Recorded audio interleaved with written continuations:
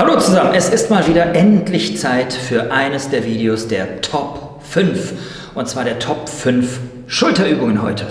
Und wer sich schon die anderen Videos angeguckt hat, der wird merken, dass es jetzt hier nicht darum geht, dass man wirklich eine Auflistung der besten Übungen macht, sondern dass ich in der ersten Minute klar mache, dass alle Titel, die so etwas versprechen oder Leute, die so etwas machen, nun ja, wenn sie es nicht ganz genau erklären, eigentlich falsch liegen, denn es gibt keine besten Übungen. Das Ganze wurde schon in einem meiner Lieblingsvideos auf diesem Kanal gezeigt, den Top 5 Brustübungen, wo es etwa nicht darum geht zu sagen, ob Bankdrücken mit Kurzhanteln besser ist als Fliegende oder sonst irgendetwas, sondern wie man ein komplettes 360 Grad Brusttraining aufbaut und was ihr beachten müsst. Denn ihr müsst letzten Endes individuell für euch herausfinden, was die besten Übungen sind und womit ihr auch am besten aufbaut. Aber gewusst wie, ihr solltet zumindest ein bisschen was über den Muskel wissen, damit ihr auch wisst, wie ihr diese ganzen Übungen kombiniert. Und das ist das A und O.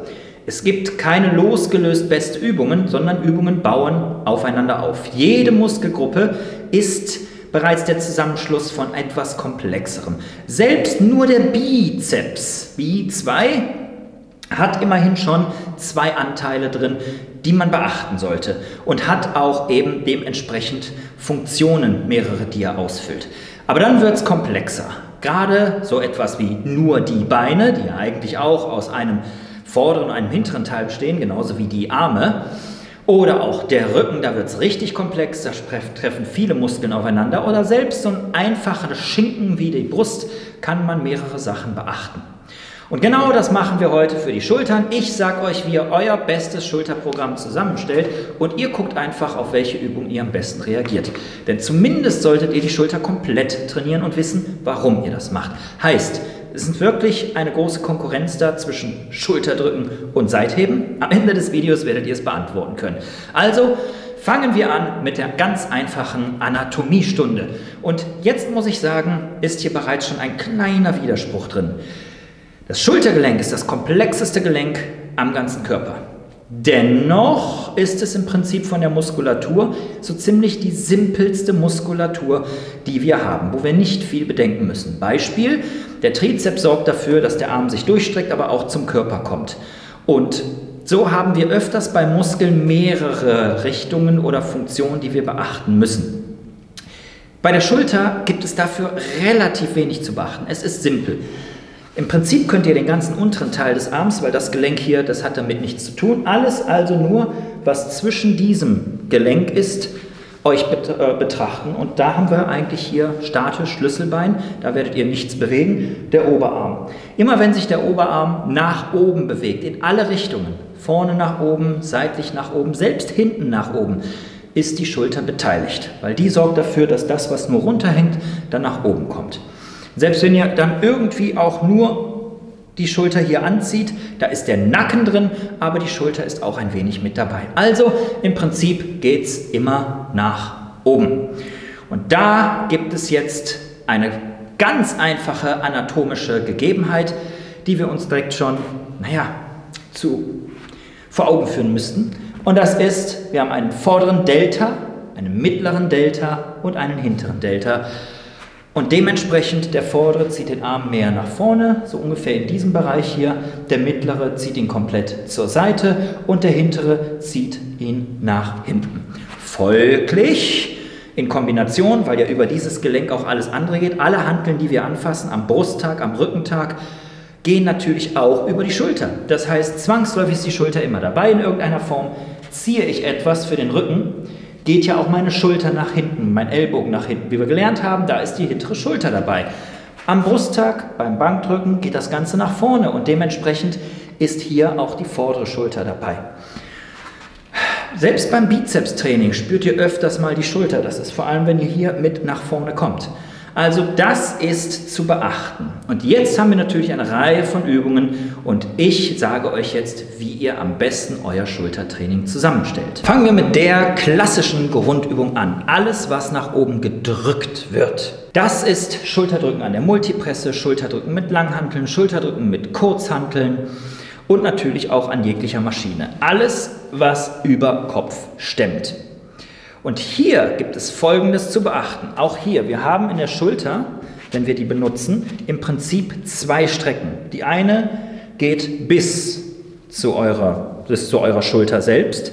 Na, das heißt, mit dem Ellbogen überholt ihr oder kommt ihr auf die Höhe der Schulter. Und das andere ist, wenn es darüber hinausgeht. Rein anatomisch ist es schon mal ganz gut zu wissen. Der seitliche Delta würde es verhindern, dass ihr über diese Grenze hinauskommt. Testet es selbst, wenn der Ellbogen vorangeht und der kleine Finger, dann kommt ihr hier nicht weiter hoch. Geht anatomisch gar nicht. Erst müsst ihr das Ganze rumdrehen und kommt dann hoch. Und zwar genau in dem mittleren Teil über mehr oder weniger die Anspannung des vorderen Deltas. Der mittlere ist hier kaum noch beteiligt. Und das sagt uns direkt alles Mögliche, was natürlich erst hier beginnt, wie beim Schulterdrücken meistens. Wir fangen selten hier unten an, sondern es beginnt hier und auch hier unten sind wir direkt schon in der entsprechenden Position und heben das nicht erst seitlich hoch und ändern dann den Winkel. Nein, das bedeutet, hier geht es hauptsächlich auf den vorderen Delta. Ist allerdings so ziemlich eine der einzigen, wenn nicht die einzige Grundübung, heißt Mehrgelenksübung für die Schultern. Und dementsprechend, weil es auch eine der wenigen Übungen ist, die ein Überkopfdrücken machen, rein von der Bewegung, kann ich empfehlen, lasst es hier und da im Training drin. Man muss sich nicht ganz davon verabschieden, aber es gibt durchaus Gründe dafür, warum man auch auf Schulterdrücken verzichten könnte, selbst wenn man volle, starke Schultern haben möchte. Rein funktional würde ich sagen, lasst Schulterdrücken drin. Vor allem, wenn ihr viele Übungen sowieso habt. Habt ihr also einen extra Schultertag, Schultern Trizeps, Schultern Bizeps, eine Kombination oder sogar nur Schultern, ja, bringt diese Grundübung mit rein. Macht ihr das allerdings ergänzend, zum Beispiel am Brusttag und habt die Schultern drin, dann würde ich sogar sagen, lasst die Schulterdrückübung raus und konzentriert euch rein auf den wichtigsten Teil.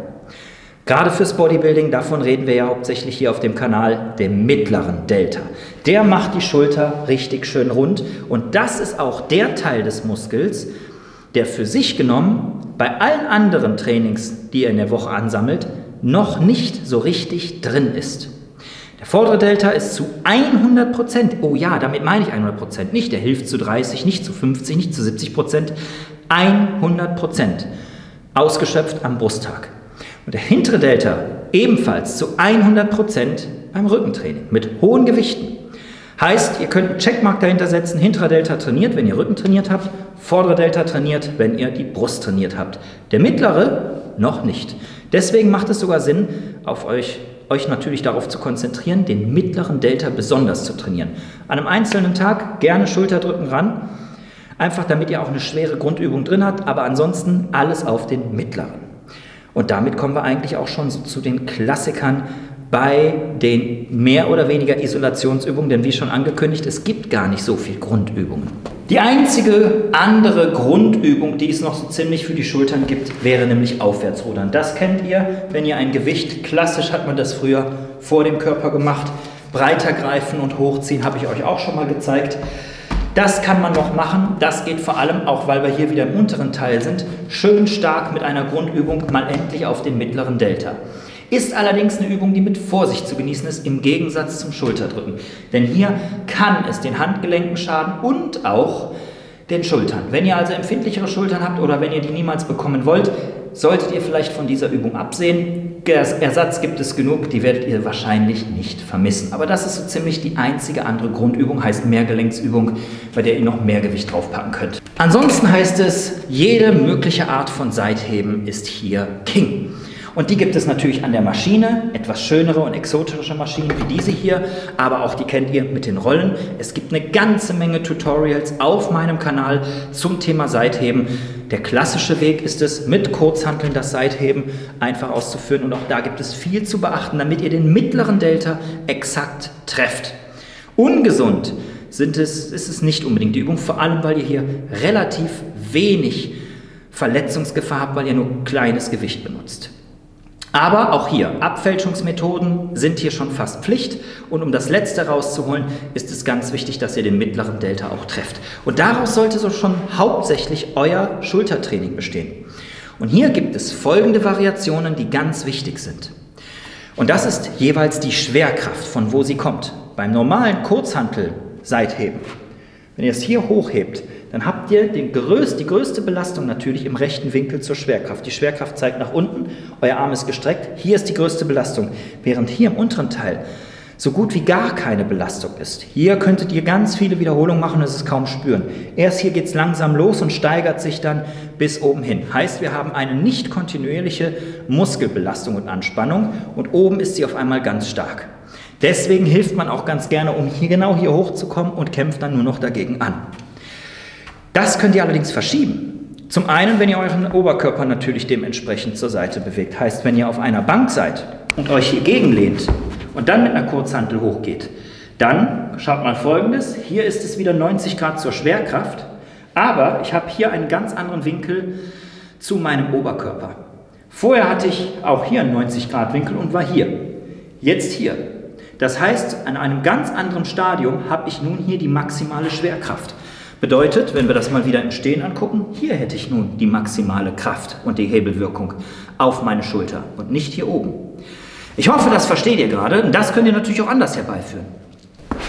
Zum einen helfen euch die Maschinen dabei, eine möglichst gleichbleibende Belastung zu haben. Hier ist von unten an so ziemlich die gleiche Belastung wie oben. Das ist gar nicht mal so schlecht. Es heißt aber nicht, dass nur weil ihr eine ungleiche Belastung habt, dass das schlechter für Muskelwachstum ist. Das heißt es nicht.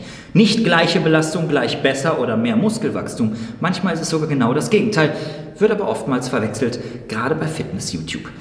Was ihr natürlich auch machen könnt, das Ganze am Kabel. Das Kabel sorgt dafür, dass da, wo das Kabel verankert ist, die Schwerkraft natürlich herzieht. Das heißt, wenn ich neben mir einen Turm habe und es am Kabel hochziehe, auch dann verlagert es sich. Und zwar genau dann, wenn das Kabel im 90-Grad-Winkel zu meinem Oberarm ist, da ist die größte Belastung mal wieder drauf. Und auch damit könnt ihr quasi Abhilfe schaffen und das verlagern.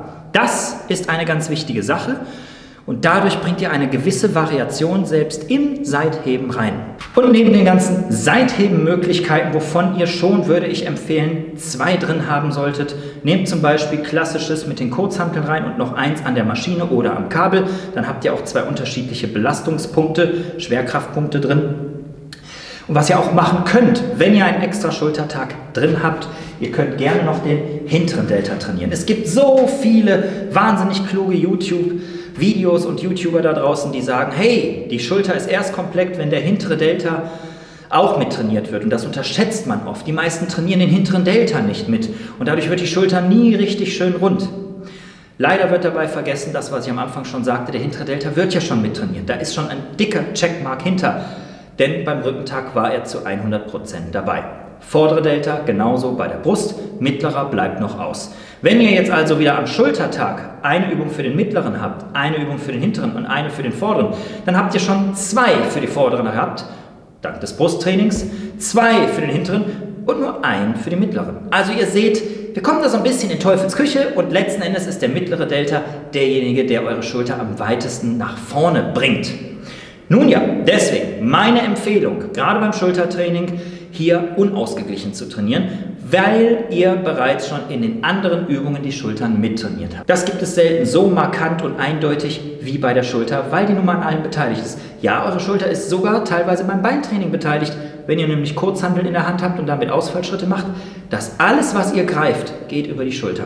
Und wenn ihr den hinteren Delta trainiert, dann, das hier ist jetzt eine exotische Maschine, aber die kennt ihr alle, auch im normalen Sitzen mit Stackgewichten, dann geht das Ganze nach hinten.